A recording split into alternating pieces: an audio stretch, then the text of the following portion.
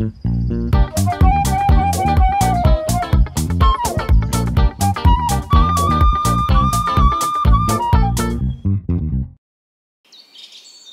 podcast a prémiové produkty pre zvieratka vám prináša sieť predajní Superzoo.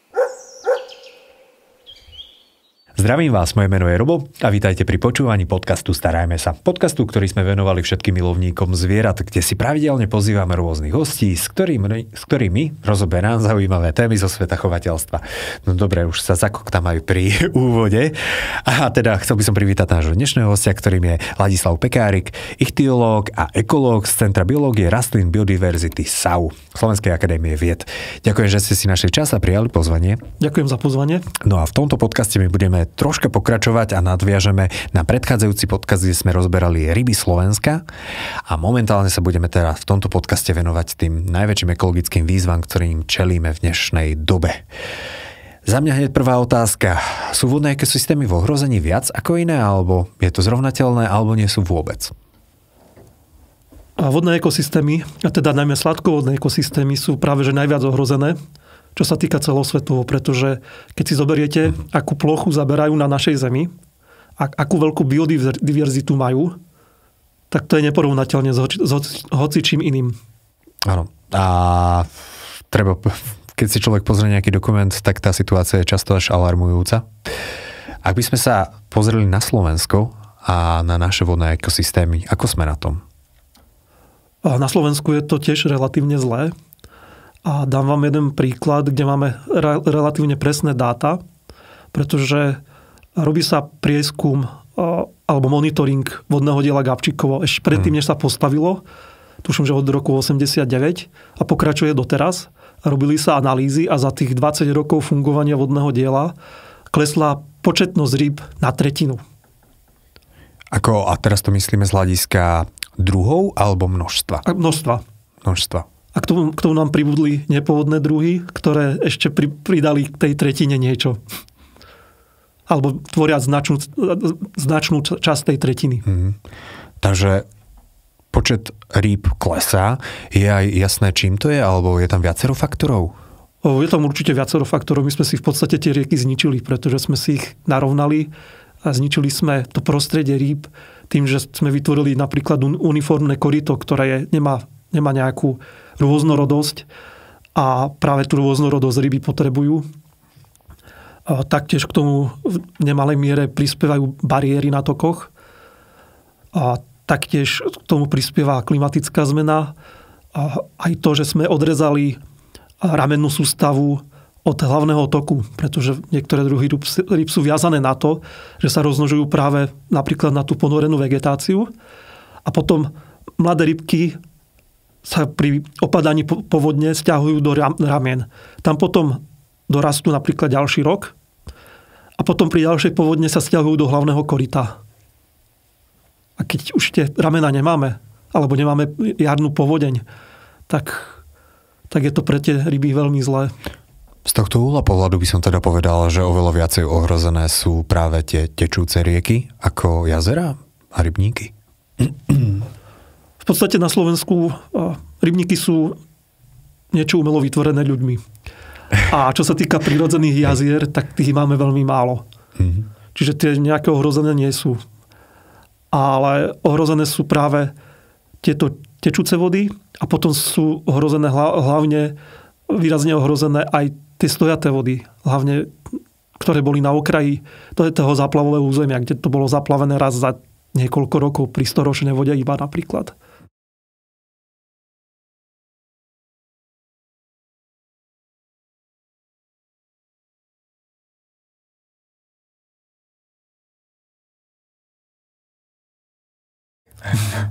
Ale nejaká taká ako keby nádrž?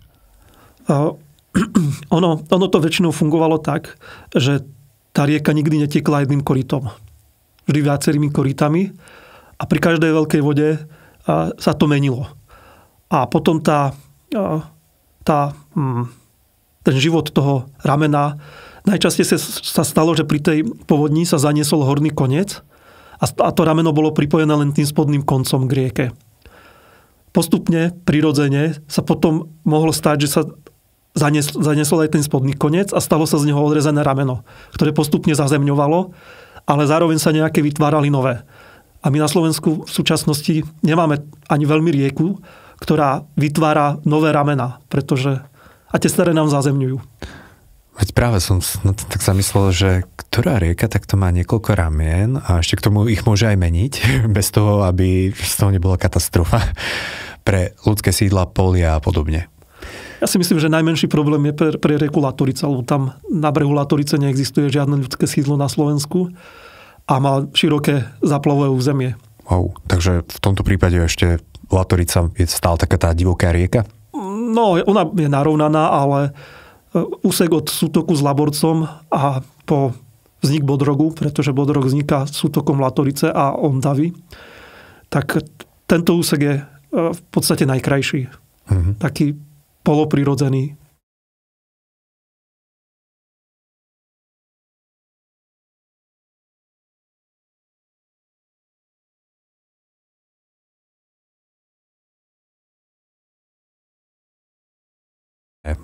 Súčasnosti ohrozujú biodiverzitu na Slovensku? No ako som spomínal, je to, sú to tie zmeny v jednotlivých tokoch. Zmeny v tokoch. A hovoríme teda o nejakom rieka bola krásne, kedy si také had, hadovitá meandre ano. vytvárala a momentálne je teda zabetonovaná zo všetkých stran? Stačí, že je narovnaná. Ono je napríklad veľmi dôležité si uvedomiť, že keď tá rieka meandrovala, tak mala istú dĺžku. A tým, že my sme ju narovnali, tak sme možno tú dĺžku skrátili o, tre, o tretinu, o polovicu. Tým pádom sme zrýchlili prúd. Tým pádom je tam vyššia nová erózia, čiže viac dna sa odnáša. Tým pádom tá rieka sa viac za, zarezáva do, do podložia a napríklad ľuďom potom vysychajú studne, pretože nemajú spodnú vodu. Musia prehlbovať. Mm-hmm. A toto, ak sa nemýlim, tak boli tie protipovodňové bariéry a kvôli tomu sa to zarovnávalo, nie? No nejaké protipovodňové opatrenia, ale mm-hmm. práve teraz razí trend, že tá, tá najlepšia protipovodňová ochrana je práve tou revitalizáciou a meandrovaním. Hej, pretože predsa len ak tú rieku zrýchlime, tak pod, ono to v podstate niekde musí prasknúť, keď si to tak zoberieme. Tak moc to no ale keď sa vyleje do toho, do toho širokého záplavového územia, tak vlastne sploštíme tú povodňovú vlnu. Takže opätovne do meandrov. Máme aj taký a, pekný príklad, kde, by, kde to teda vyšlo? A práve minulý rok sa takto zrevitalizovala, zameandrovala e, rieka Rudava, a, ktorá myslím si, že v takom, v takom rozsahu je prvá na Slovensku a ktorá je, ktorá je ktoré, kde sa to podarilo a pri prvej väčšej vode sa už trošku aj mení tá rieka. Mm. A pomohlo to teda proti tej veľkej vode? Ešte sme to ne, Či ešte sme nezažili? Ešte sme nezažili takú veľkú vodu asi. Vyskúšame. Ale určite to prospelo aj mnohým a rybám a podobne. Takže úprava tokov asi nepro, neprospievala globále. Nie. Nie. A inak je celkom zaujímavé, čo som pozeral a ortofotomapu na Moravu, že dodnes je tam pekne vidno, ako v minulosti bola tá rieka usporiadaná do tých meandrov a doteraz sú tam ešte také tie priesaky na tých roliach, čo sú tam momentálne, takže toto je zaujímavé. Áno, to, to je vidieť aj na Žitnom ostrove. Kde konkrétne? Na celom. Uh-huh. Keď sa pozriete na, na nejaké satelitné snímky, Hej. tak to uvidíte. To pekné. A vy ste mi ešte spomínali, že podľa toho boli stavané aj tie cesty. Áno, a často na Žitnom ostrove človek si predstaví rovinu a prečo by tá cesta sa mala kľukatiť až tak niekedy nezmyselne, tak e, kedy tam práve tá cesta išla okolo nejakého ramena, ktoré už v súčasnosti neexistuje, je zasypané a už tam sa polnohospodári pestujú plodiny. Hej, ale musím povedať, že toto prekvapilo teda aj mňa, lebo z času na čas chodievam tady a pozerám, že krásna rovinka, v podstate viac menej všade polia, ale tá cesta to ide halabala. Takže ona kopírovala kedysi rieku. No nejaké rameno, ktoré tam existovalo. No tak to musí byť veľmi zaujímavé. Dobre, takže máme úpravu tokov. Čo je ďalším rizikovým faktorom? A ďalším rizikovým faktorom je určite klimatická zmena. Uh-huh. Ako konkrétne vplýva? Pretože zažívate tie suchá, ktoré sú tu v lete keď je sucho, tak nám vysychajú niektoré biotopy, niektoré miesta, kde sa vyskytujú ryby. Mhm. Hlavne tie e, ryby, ktoré sú viazané na stojaté vody. Jednoducho, keď tá izolovaná stojatá voda vyschne, tak už sa tam tá ryba nemá ako vrátiť. Ona nemá, nemá nikam utiecť. Mhm. Pretože ona po suši neutečie. Jasné. A ešte kedy si na základke nám hovorili, že ryby sa do vody dostávajú tým, že tam idú vodné vtáky, ktoré majú na pery ikry. To je taký názor, ktorý myslím si, že nikdy, nikdy nebol dokázaný, preukázaný. A ťažko povedať, či to tak môže fungovať. Ťažko povedať. V každom prípade klimatická zmena, tým, že sa otepluje, teda je to dosť rizikové. Takisto je to rizikové pre aj iné druhy rýb, ktoré sú chladnomilné. Pretože keď sa vám oteplujú potoky, tak tá ryba reagovala tak, že sa stiahovala do vyšších úsekov tokov. Ale keď sa už aj ten najvyšší úsek toku oteplil natoľko, že tam neprežije, tak sa nemá kam odsťahovať. Uh-huh. A robí im vyslovene, že tá teplota vody má nejaký problém zdravotný?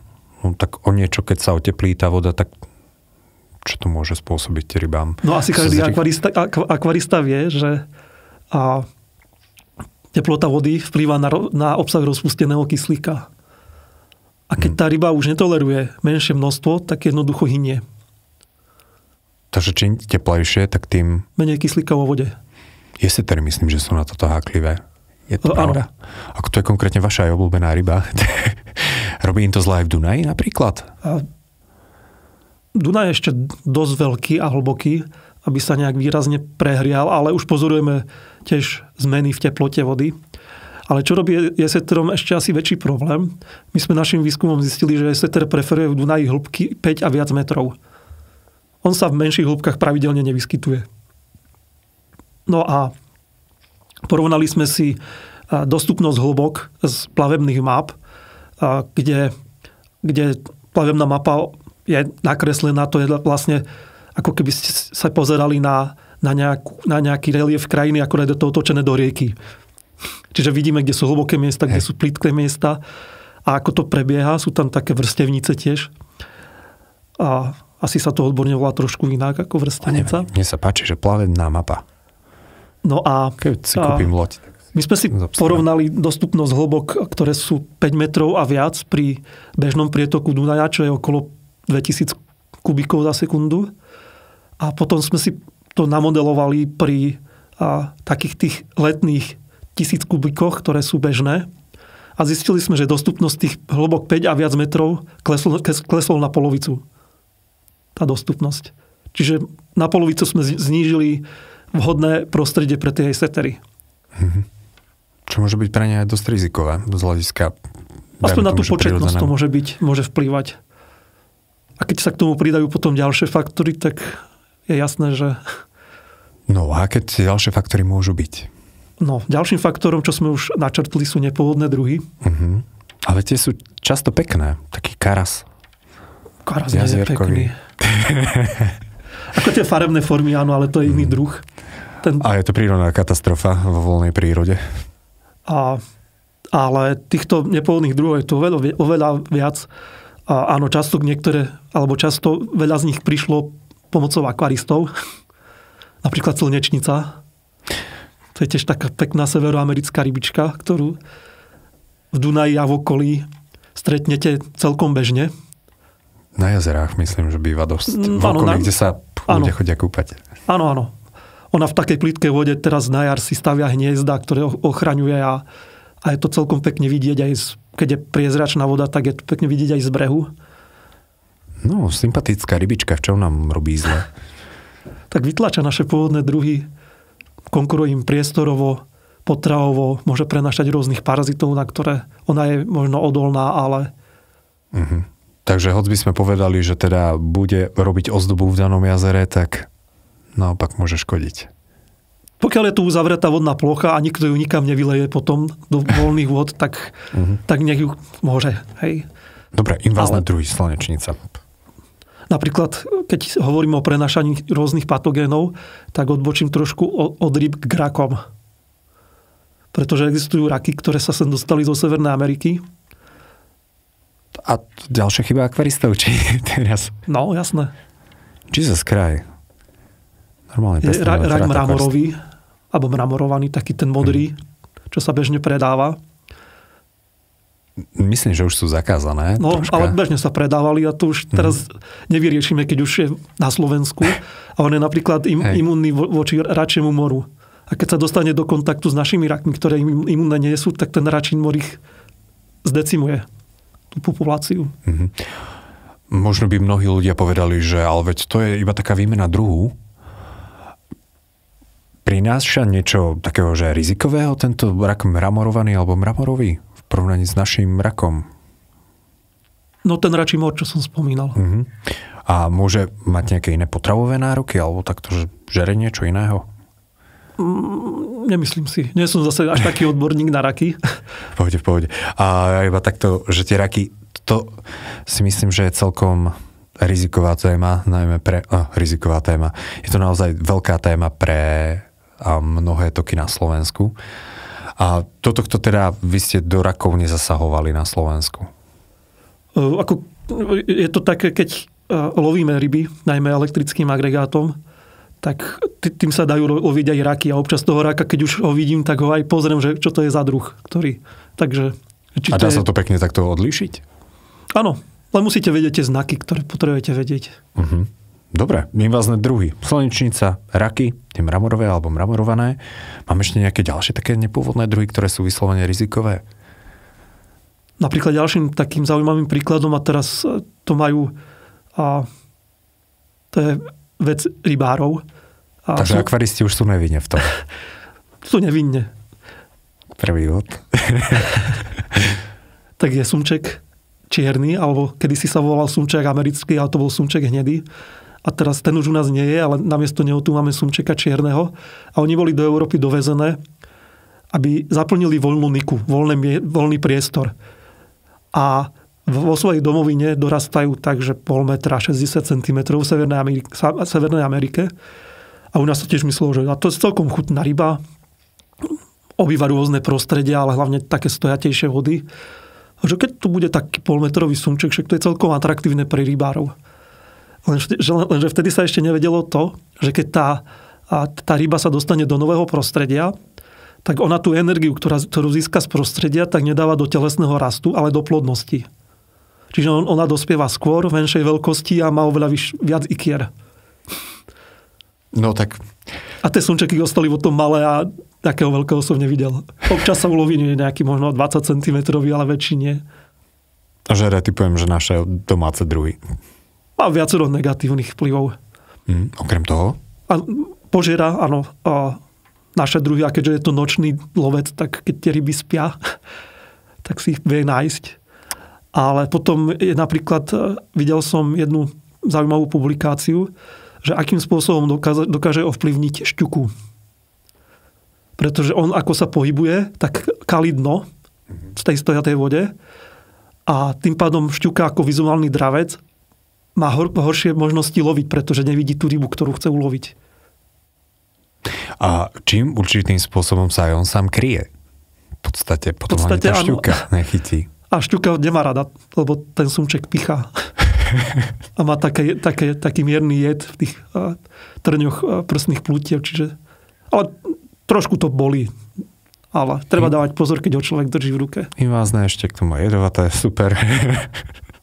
Mám ešte ďalšiu nejakú takú zaujímavú rybičku na Slovensku. Ja som počul, že ak idú uh, lode z Čierneho mora uh, cez Dunaj a že sú tam tie, také tie prepady, priesaky, um, tam, kde ich dvíhajú a dávajú, oni musia uvoľňovať, že vypúšťajú nejakú vodu. O, to, toto funguje len pri morských, pri námorných, námornej plavbe. Hej. Pretože v, Čier, v Černom mori žijú a, žije ryby, ktoré sa volajú bička. Je ich niekoľko druhov. A, a tieto ryb, ryby a sa dostali aj ku nám nejakým spôsobom. Nikto nevie presne akým. V kľude to hoďme na tie lode. A pra, pra, ťažko povedať. Pravdepodobne to bude, ale riečne lode nevyužívajú túto balastnú vodu. Mhm. Čiže, ale on zase, zase sa neresí do dutín a, a keď si zoberiete takú loď, ktorá, neviem, či ste videli niekedy loď, ktorá, ktorú, ktorá je na suchu, veľká. Ona je úplne porastená tiež nepôvodnými slávkami. Dá. Niekedy si budem kopitko. Mhm. Neviem presne, ako sa to ter- teraz volá po slovensky. Kopitko nejaké. Už sú tu dva druhy nepôvodné.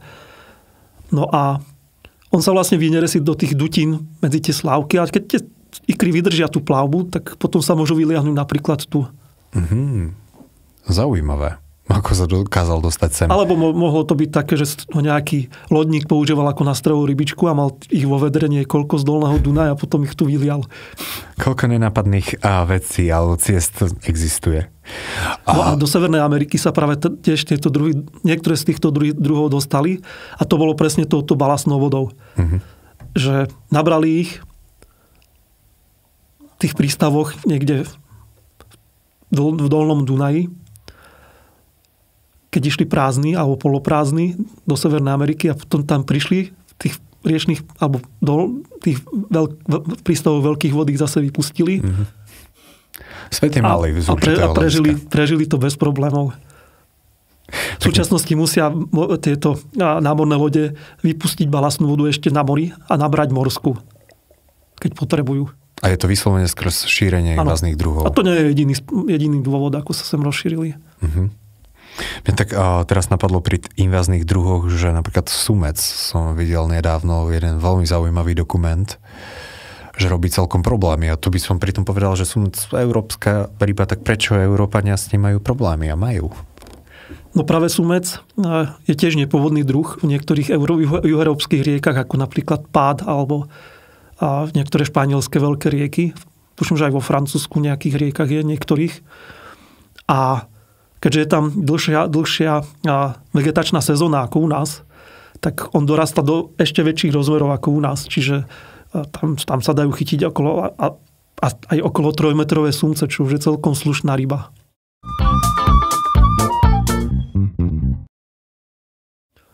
To je celkom strašidelná podľa mňa ryba. A teda samozrejme, že ten sumec konzumuje potom väčšie ryby a konzumuje tie miestne ryby, ktoré predtým nemali svojho nepriateľa vo vode. Mhm. Jak čo je taká no, celkom zaujímavosť, uh, ohľadom týchto sumcov som čítal, že oni ešte aj učia to obyvateľstvo, že sumec je v podstate veľmi dobrá ryba aj na konzum, že tam na to nejako nie sú naučení. Nie, ale veľmi radi chodia tuto naši rybári na tieto rieky chytať sumcov, pretože sú väčší. OK, tak aspoň nejaké pozitívum z tých veľkého množstva negatív, čo tam je. Invazné druhy.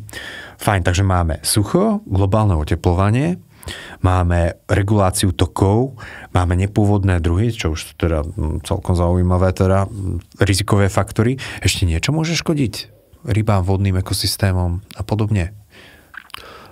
Tak ešte, ešte samozrejme znečistenie, Mhm. ktorého sme sa ešte nedotkli. A potom hlavne, hlavne také tie veľké otravy, ktoré si určite pamätáte z, z médií Červená rieka. napríklad. Možno si spomínate ešte niekedy na začiatku tohto tisícročia tú veľkú otravu na rieke Tisa, Kianidom z tých, eh, tých a baní na zlato v Rumunsku sa pretrhla hrádza a to zlato sa ki- Kianidom. A vytravilo to aj našu Tisu ešte aj ďalej. Oh. Takže A to sa dokáže ako normálne, že vyvraždiť celý, celý jeden tok rieky? Keď to- Ono, ono, tie ryby a, potom sa snažia nájsť nejaké refúgia, kadeľ to napríklad nepotečie v takom množstve, alebo miesta, kde sú prítoky a oni potom osídlia z tých prítokov, ale samozrejme, že to zdecimuje veľkú časť populácie. Mm. Určite si pamätáte otravu rieky Hron. A ryba inak dokáže vycítiť ten jed v, vo vode a dokáže sa premiesniť tam, kde je ho o niečo menej? O tom sme sa práve tiež rozprávali a, a práve ona, ona sa snaží premiesniť proti prúdu a tam tá koncentrácia to, toho znečistenia je ešte väčšia. Ono napríklad to vytravenie rieky Hron zase nebolo tým, že by no, tie látky tie ryby zabili. Ale a stúpla tam oveľa viac spotreba kyslíka a tie ryby sa udusili. Pretože to, bolo, to, to boli živiny, ktoré sa tam dostali. To je presne to isté, keď vytrávi nejaká čistička odpadových vôd, tak to nie je tým, že by tie ryby otravila, ale tým, že je tam strašne veľa živín a vlastne tie živiny sú spotrebované a na to potrebujú mikroorganizmy kyslík a potom ten kyslík neostane pre ryby. Takže v skratke, do vody sa nám dostane obrovské množstvo živín, ktoré ako keby že zožerú nejaké baktérie, mikroorganizmy, Áno, oni sa veľmi rýchlo namnožia, hej. Veľmi rýchlo sa namnožia a tým spotrebujú kyslík a on zabije tie ryby? Áno, no nemajú dosť kyslíka vo vode. Aby to nebolo teda jednoduché. Dobre, takže toto všetko znečistenie ešte. Čo, čo sú také tie veľmi časté znečistenia, ktoré si často ani neuvedomíme a pritom to dosť rybám škodí? No, tie znečistenia neškodia len nám, ale len rybám, ale aj nám. A určite poznáte prípady ťažkých kov, ktoré sa nachádzajú potom v rybách a tie ryby sa nesmú konzumovať. Známa rieka Nitra, ktorá je asi najviac znečistená na, Slovensku, práve z toho priemyslu na Hornej Nitre. Alebo potom tiež známe polychlorované bifenily. To je zase po vode Laborca, schémka Strážske, kde našli tie súdy a neviem, či, či už s nimi niečo urobili, ktoré vytekali. Tak hádam, hej, keď už je to zdokumentované. No, ale ešte neviem, či boli odstranené. A tam zase ten laborec naplňa dosť často zemplinskú šíravu a zase tam sa konzumovať ryby nesmú často, keď sa objavia vyššie koncentrácie a on sa ukladá do sedimentov a pri každej povodni zase sa tie sedimenty premiešajú a zase sa to vyplaví. Takže to môže byť často dlhodobý, dlhoročný to, to, je, to bude ešte dlho, dlho 10-ročný problém. A tieto nebezpečné látky, či už ťažké kovy a polychlorid... Poly, polychlorované bifenily. A, áno, tie sa ukladajú do tela rýb? Áno, a môžu sa akumulovať práve. Uh-huh. Ktoré ryby sú na to najcitlivejšie? O, nemyslím, že najcitlivejšie, ale tam je tiež istá potrebová hierarchia u tých rýb. A čiže a najmenej by ich malo byť v tých, ktoré sú na tých nižších stupňoch, ktoré napríklad žerú vodné bestavovce. A najviac sa ich ukladá práve v drávcoch, pretože oni stále žerú tu viac a viac, tie viac a viac akumulované stupne. Takže postupne si to zo seba tak nazbierajú. No a potom dať si toho vynikajúceho sumca bez kosti. Fú, dobre. A myslím, že aj na niektorých riekach alebo pri riekach sú normálne, že tabulky, že zákaz konzumácie týchto rýb, ak sú chytené. O, ja si myslím, že to sú v rybárských poriadkoch, že potom je ten revír označený ako chyť a pusť. Uh-huh. Nie som rybár, takže... Ale nielen z tohto dôvodu sú ryba, re, revíry uh-huh. označené chyť a pusť. Aj kvôli tomu, aby rybári mohli chytiť, chytiť opakovane a väčšie ryby. Aha, pekne. No, máme veľké znečistenia, rôzne menšie znečistenia. Čo také lieky a podobne, lebo toto sa tiež dosť často skloňuje s tým, že keď ľudia vyhadzujú lieky iba tak halabala, tak antibiotika všetko robí problémy. Určite áno, ale napríklad veľký, veľký problém e, začína byť ženská antikoncepcia, pretože oni potom ovplyvňujú pohlavie tých vodných živočichov. Pretože ryby majú napríklad e, určenie pohlavia, u nich nefunguje čisto len ako u nás, že máme a iné pohlavné chromozómy, ale oni sú ovplyvnené aj prostredím. Aj hormonálne. Čiže keď sa tam dostanú nejaké hormóny, ktoré, ktoré môžu ovplyvniť to pohlavie, tak môžu potom ovplyvňovať. Samozrejme, lieky tiež robia a veľké problémy. Takže ono môže byť, že dajme tomu, že bude len čisto populácia samíc alebo samcov? Že takto to dokáže ovplyvniť? Pretože... Alebo tých samíc bude oveľa viac a bude ťažšie nájsť partnera potom na rozmnoženie. Wow. Alebo že, že tie mm, ženské, tá ženská antikoncepcia spôsobí neplodnosť tých samcov. Mm. Sú všetko také skryté hrozby, o ktorých teda ani, ani netušíme. Takže asi treba vedieť, ako to správne vedieť zlikvidovať tie tabletky, alebo neviem, čo to je. Tak to sa vylučuje z tela, to nezlikvidujete. Aha, to ide cez normálne kanalizáciu. Aha, pekne. No dobre, existujú nejaké projekty na záchranu, celkom úspešné projekty, dajme tomu, na ktorých spolupracujete aj vy?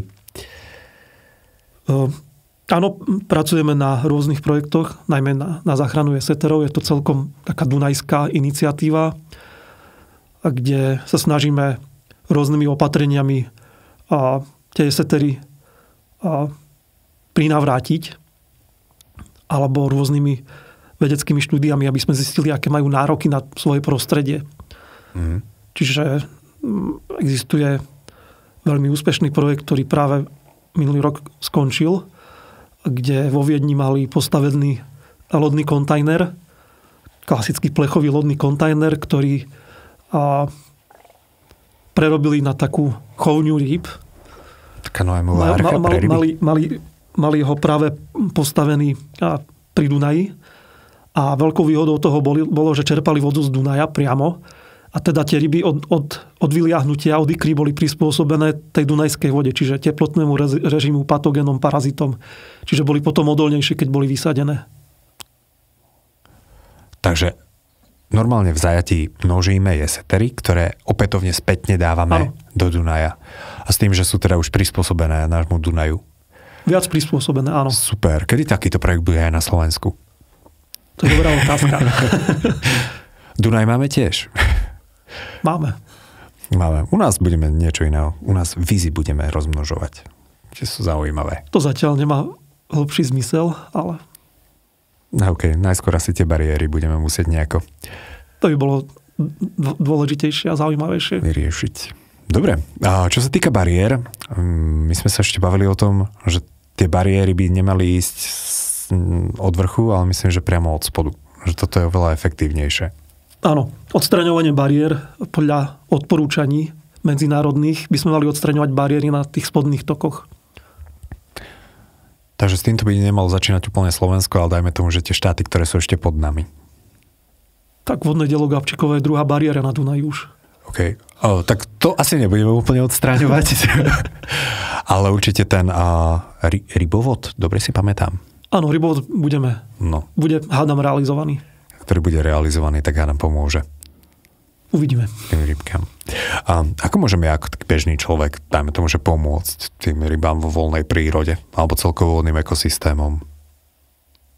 Čo by som mal alebo nemal robiť? Možno nejakou zodpovednosťou, čo sa týka práve rôznych látok, ktoré vypúšťame do vody. To je super, takže nevyhadzovať rôzne tie chemické neporiadky, alebo... Tak ono by bolo zaujímavé, keby ľudia prestali vyhadzovať aj odpad k riekam a k potokom, lebo to je celkom bežné. Žiaľ Bohu. Na Slovensku. Že to človek, ktorý je ktorý chodí okolo tých tokov, tak vidí, ako to tam vyzerá. Mm-hmm. A možno, možno nejakým takým občianským tlakom na tých a, na tie mm, po anglicky sa tomu hovorí stakeholder, tí, tí, čo rozhodujú na rôznych, na rôznych a, úrovniach. úrovniach, tak a, by tam mal byť tlak, možno nejaká aj občianská kontrola týchto rôznych rozhodnutí a mm-hmm. Pretože napríklad na Slovensku prebieha teraz infringement od Európskej únie kvôli tomu, že postavili sa malé vodné elektrárne na Hrone a nebolo to poriadne a vydokumentované, že táto postavenie malej vodnej elektrárne je vyšší záujem ako ochrana tej rieky.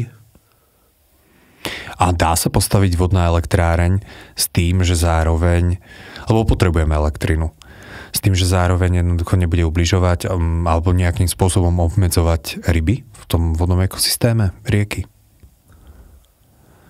Určite sa dá postaviť lepšia, ako sú súčasné. tak. A, a samozrejme, pokiaľ som dobre počul, tak vodné dielo Gabčíkovo vyrába okolo 10% slovenskej energie. Elektriny teda. Čo je dosť.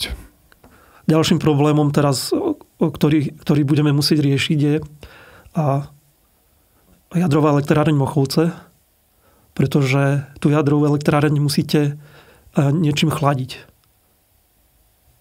a ona sa chladí vodou z hrona. Mm-hmm. A teda vyparuje tam ist, ist, istú nezadba, nezadba, nezanedbateľnú časť hrona. A potom ten, ten prietok chýba nižšie. Hej. A akým spôsobom teda ešte by sme teoreticky... Lebo tu nám hovoríme aj o nedostatku asi vody. Nie je to problém v súčasnosti, dajme tomu, že je to problém, ktorý budeme riešiť ale už je to aj problém v súčasnosti. Mm-hmm. Pretože a, minulý rok som sa a som robil rôzne prieskumy ešte iné po Slovensku a to sme si robili srandu s kolegom, ktorý tam bol so mnou, to bol komplet vysnutý potok. A to bolo na, na Hornej Nitre, čo není zase až taká suchá oblasť.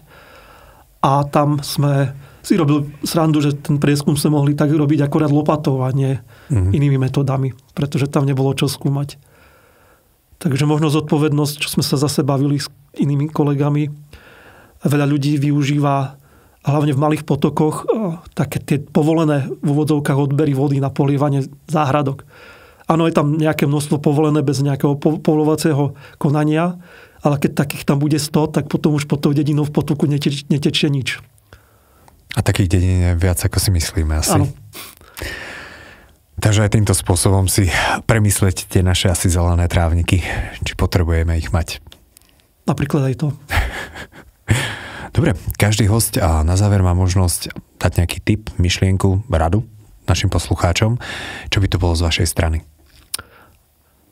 Keď sme sa bavili o tej elektrine, že ju potrebujeme vyrobiť, tak eh, viete, aká elektrina je najzelenšia?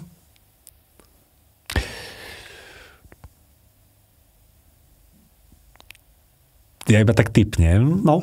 Uh, dajme tomu, že tá z tých veterných elektrární? Nie, tú, ktorú ušetríte. To je skvelá odpoveď. Super. Takže toto je záverečná myšlienka. Šetríme energiu.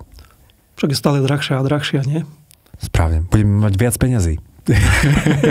Keď ušetríme. Super. Ďakujem krásne. Našim dnešným hostom bol ichtiológ, ekológ z Centra biológie rastlín Biodiverzity Slovenskej akadémie vied Ladislav Pekárik. Ďakujem veľmi pekne za veľmi cené informácie. A ďakujem za pozvanie. A vy ste počúvali podcast Starajme sa s Robom Šemerom. V prípade, že sa vám páčil, môžete sa prihlásiť na jeho odber cez všetky podcastové aplikácie, rovnako nás nájdete na YouTube. A všetky nahraté časti vrátane zaujímavých článkov nájdete aj na stránke starajme sa.sk.